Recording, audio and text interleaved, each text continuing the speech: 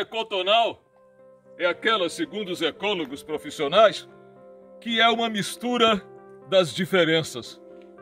E aqui estamos no mês de junho.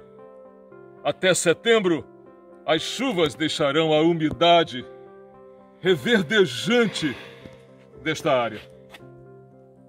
O que é cinza, caatinga, cerrado e chapadão, neste período ainda tem o verde reflorescente da natureza.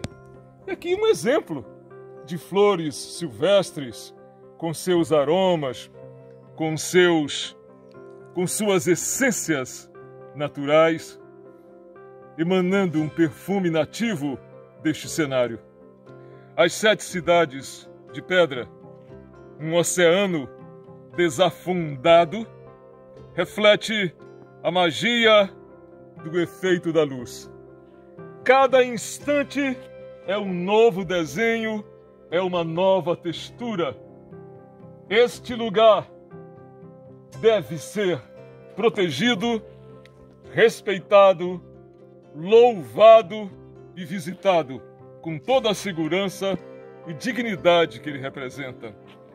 É uma joia da natureza no Nordeste do Brasil, no estado do Piauí.